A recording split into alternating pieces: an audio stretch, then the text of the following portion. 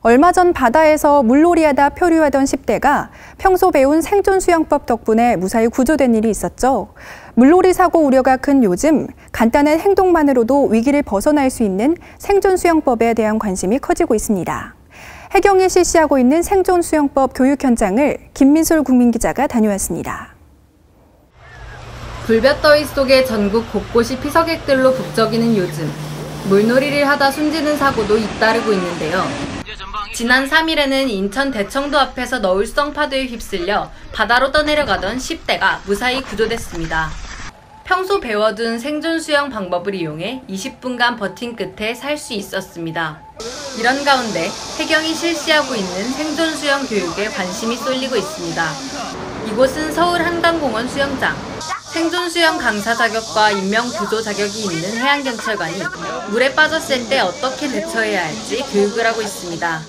생존 수영이란 물에 빠졌을 때 구조대원들이 올 때까지 최소한의 에너지로 최대한 물에서 버티는 그런 수영법을 얘기하는 거고요.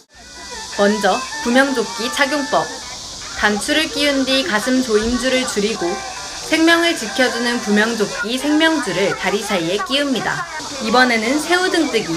숨을 들이쉰 채 가슴을 무릎 쪽으로 당기면 새우 등처럼 굽은 자세가 됩니다. 이렇게 하면 쉽게 물 위에 떠다닐 수 있습니다.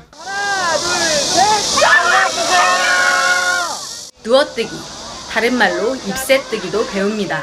누워뜨기는 우리가 침대에 눕듯이 편안하게 뒤로 얼굴만 뺀 상태에서 누우시면 몸이 저절로 떠요.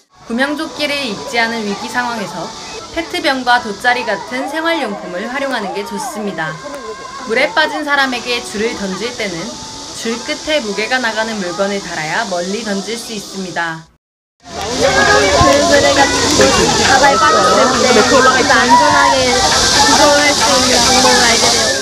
이런 걸 배워놓으면 나중에 유용하게 쓸 수 있으니까. 해마다 전국에서 발생하는 물놀이 사망사고는 평균 30여 건. 이 가운데 여름 휴가철 사고가 절반이나 됩니다. 대부분 수영 미숙과 안전 부주의로 발생한 겁니다. 이번 생존 수영법 교육은 8월까지 전국 5개 지역에서 무료로 실시됩니다. 불과 1시간 남짓한 생존 수영 교육.